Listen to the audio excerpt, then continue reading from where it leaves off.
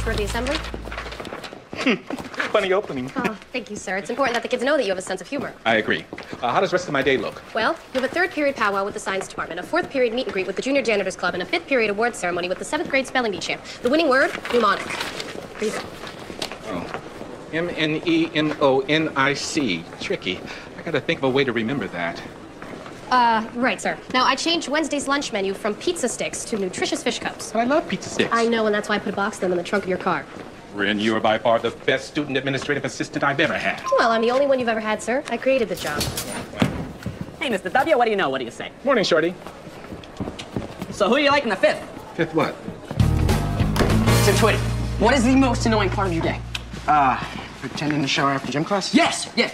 No, no, that's one. See, what I think it is, is the countless minutes we spend each and every day between classes opening up our lockers. You know, you gotta turn it right, you gotta turn it left, you gotta turn it right again. Yeah, yeah, yeah. And then and then you know you got all those stupid numbers that you Exactly. That's memorize. what I'm talking about. That's why I have invented the remote control locker opener. Check that out. Sweet. So what are we gonna do with all this extra time? Well, you could. uh, You know what? You know what? I'm gonna learn Italian. Right. You could learn um Italian. Let, allow me to demonstrate. Watch this.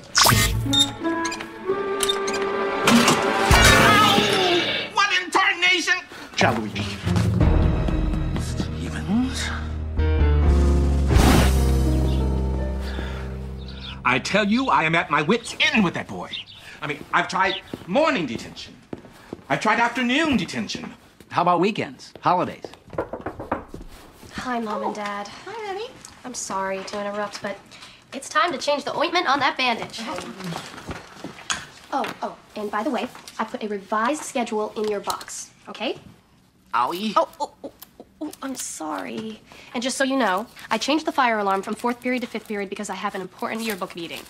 I hope that's okay, though. Oh, of course. Okay, good, good, good. Oh, and don't forget the pizza sticks. They are in the trunk of your car, and it's parked in the sun.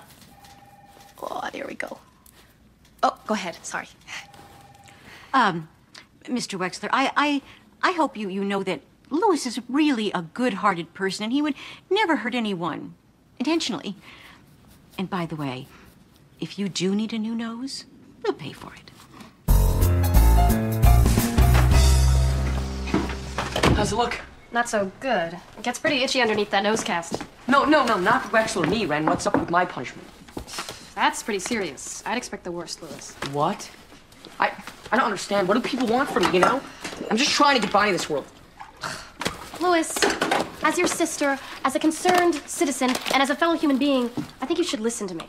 You bring on all your problems yourself. So for once, will you just try following the rules?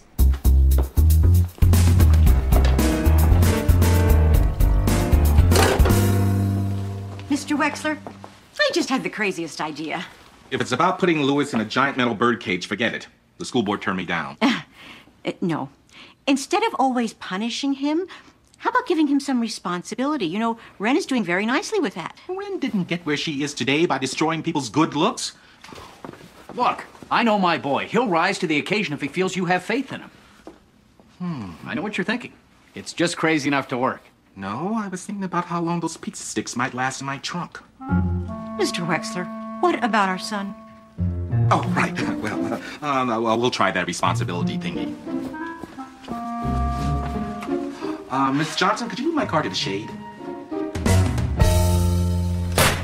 You're gonna be a homeowner. Dude, believe me, I'm shocked as you are. It's the old give 'em responsibility so they'll change their ways approach. That never works. Shh, come on, dude. You don't want them to hear us. Okay, so when you're on Hall Patrol, all those stupid rules. Oh, they're gone. Hall passes? No, not on my watch. Sorry, slips. Dude, let's just say school starts when we get there. Bro, with you as the law, life will be, dare I say it. Sweet. Yes, sir. Loitering? Don't mind if I do, Tom. Hmm. Very witty indeed. Now clear out! Move, move! There is nothing to see here, people! Sorry, Tom. Where do you think you're going, mister? Uh, with them? Not today. According to my official orders, it is time for you to join one of the few, the proud, the Hall Patrol. Hey, you, malingerer, get to. Sorry, my bad. It's okay, Tom. Let's get you spruced up for the initiation ceremony. You know what, Tom? Today's not really a good time. Move! Yes, Move! yes! Move! No, I'm, I'm moving! Dude, I'm moving! I'm moving! Some of your reports on ground dwelling animals were less than satisfactory, people. Where is the passion for the crafty hedgehog, the proud albino mole? I'm sorry, Miss Levelson. Take a seat, young lady. Okay. Don't worry about it. By the way, did you speak to Wexler about my parking spot? Oh, yeah, it's looking great. Huh, yes. Back to business, people.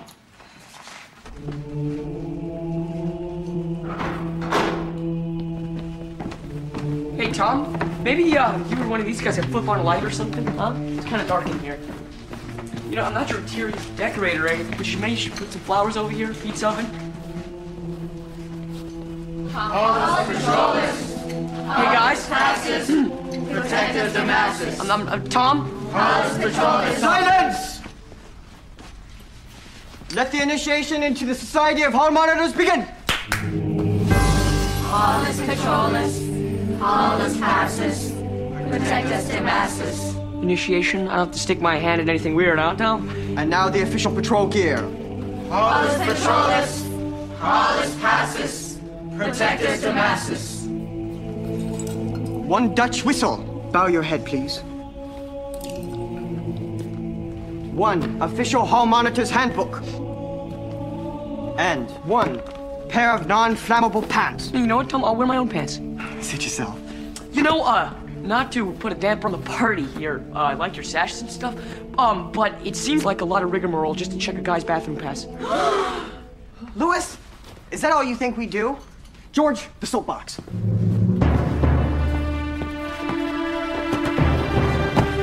Louis, to you this all may seem silly, but it's a jungle up there. And there's no respect for the rules, the law, or common decency. We're the last line of defense. Now, it takes guts, it takes brains, and it takes heart. Do you have what it takes? Mm-hmm. Good. Then I deem you worthy to wear the sash.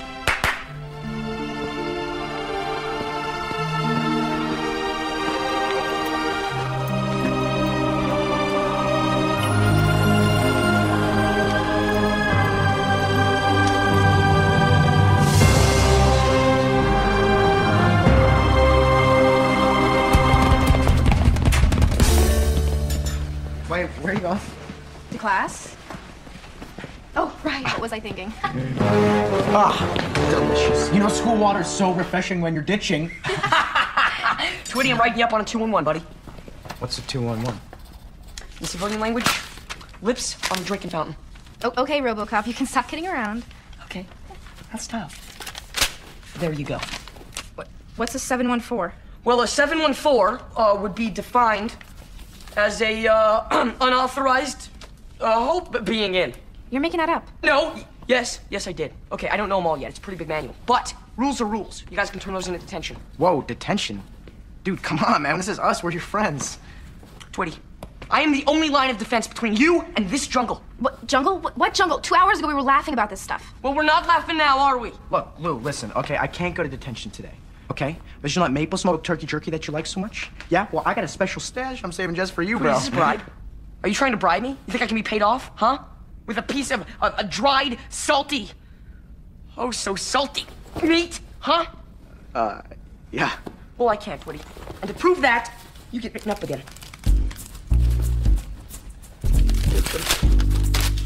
Another detention? That'll teach you respect the sash. Oh, whoa, Twitty, come on. We've lost him.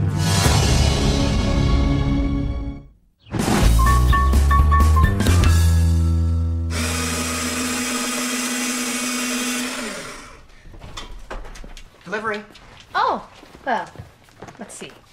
Gum, yo-yos, maple smoked turkey jerky. Hmm, looks like you guys had a busy week. You know, I don't know when these kids will get the message. If you bring unlawful materials to school, the Hall Patrol will find them and they will be confiscated. Nice work, Tom. Principal Wexler will dispose of these as usual. I live to serve and serve to live.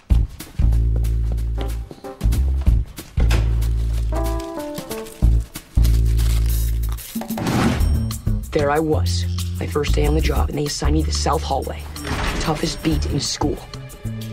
The place was filled with dirt balls and sleaze bags, mouth breathers and bottom feeders. I mean, you had to watch your back and every other part of your body. I mean, you, you could find anything you wanted here, especially trouble.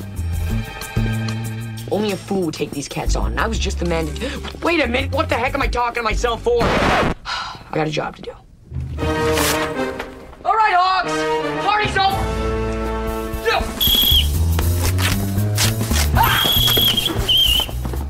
What are you doing?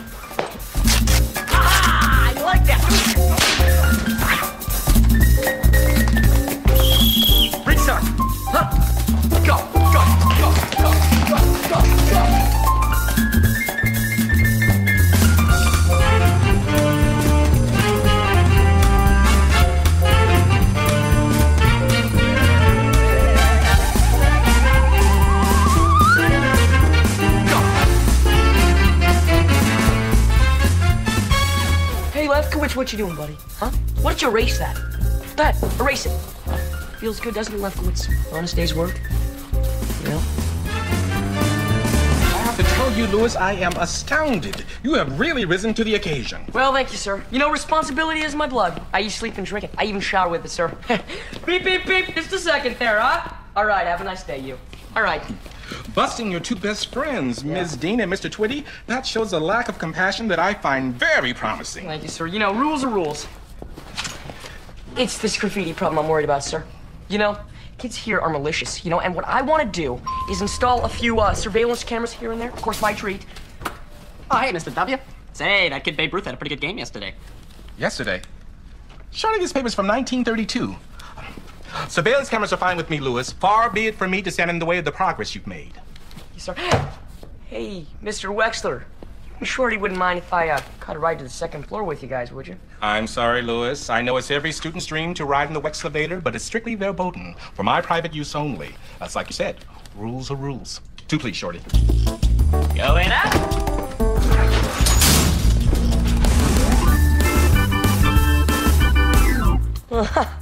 Looks like we got us a straggler here, Tom. Excellent. 91. 92. Looks like Miss Tardy's doing some illegal chewing. Kids. You know, when will they ever learn? Oh, she's trying to ride the Wexlevator. Afternoon, Ren. What can I do you for? Holy handcuffs. Tom, come here. Come here, come here, come here. It's Red. Come here. Red. Look, look, Red. Look. You see that? Three, please, Shorty. You got it, Dollface. This rocks. There is nothing sweeter than busting a family member, Tom. Louis, hmm. this is Ren Stevens here. I mean, we're way over our heads. Tom, settle down, all right? I don't care who she is. She broke the rules.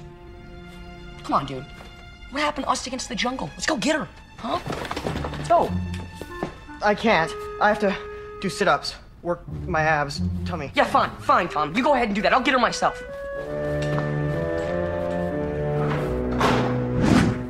So, what do you think of my The Principal is Your Pal column for the student newspaper? Oh, I loved it. I thought it was great. But I did have some corrections. For instance, right here, I thought. Please! Ah! Louis, what is the meaning of this? Sir, someone you trust is misusing their power. What are you talking about? Sir, it stinks in here. And stinkage thy name is. Red. Louis, this is ridiculous. Oh, really, Ren? Is it ridiculous? Sir, she's tardy after the bell rings. She chews gum. She cuts class. And. And? She uses the Wexlevator. Now, Louis, those are some pretty serious accusations. Yeah. Uh, this is ridiculous. I come in here day in and day out and break my back for the sake of the school, and he has the nerve to come in here and accuse me of. I can prove it. What do you mean you can prove it? Oh, yes, sir, I can prove it. See, I got it on tape, Ren. And if you don't do anything, sir, I'm gonna show the whole school. Okay, uh, the two of you need to get to class. We'll deal with this at the end of the day. You know, a few days ago I'd laugh this off. But no. This here goes beyond brother and sister. This is about good and evil, right and wrong. Enough already. Let's get this over with. All right. Brace yourselves. Roll the tape.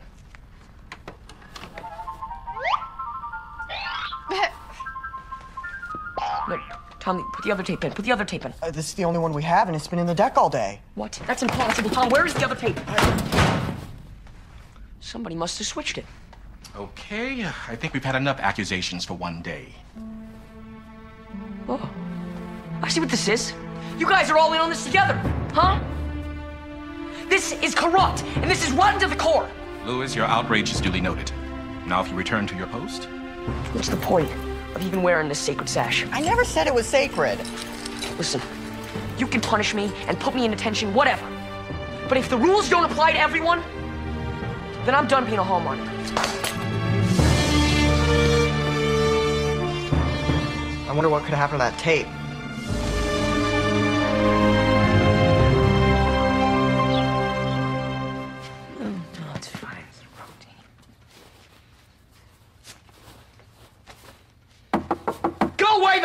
Rotten!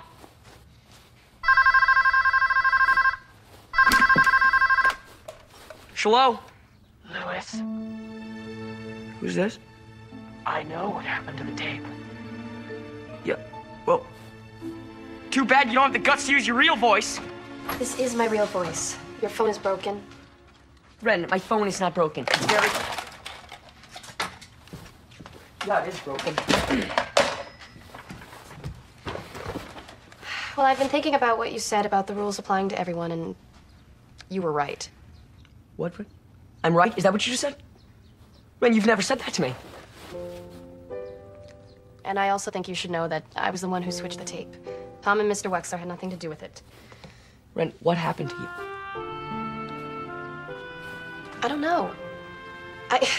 It all started out innocently enough. A hall pass there, a permission slip here, and and then it just got out of control. Before you knew it, I was riding the Wexlervator, living above the law. Ren, I I don't know what to say. I'm speechless. Why couldn't you just follow the rules, Ren? You just sounded like me. Yeah. It's like the invasion of the body switchers. I gotta make things right. Ren, me too. You know, Twitty and Tawny won't even talk to me. Maybe I can patch things up. That was so cool. That first drop was like the Matterhorn. Ren, can we please do that again? No, no, you guys, that was the last time for all of us. Thanks, Shorty. See ya. Thanks for the grand time. No problem, Miss Stevens. Don't take any wooden nickels. No, you weren't. I don't believe it. How can you keep abusing your power in such a. Uh, you didn't see anything, did you? See what?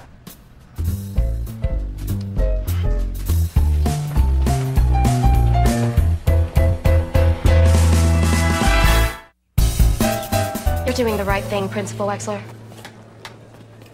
No one in this school should have special privileges. I know, Ren, but I'm gonna miss having you as my assistant. I want to be a regular student, which means I have to get to class on time. Hey, Mr. W. Nice day, but don't rain. Hop in. Shorty, I think you're gonna make a great assistant. Where to? Second floor and step on it. You got it, Chief.